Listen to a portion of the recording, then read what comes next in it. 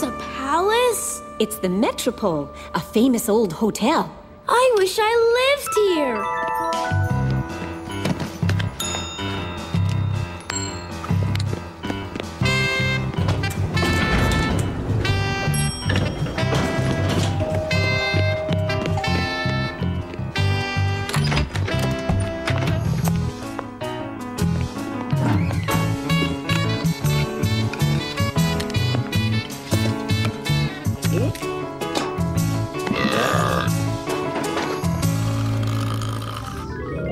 Where to next? We've got two hours before we have to get ready for the musical. A pet store.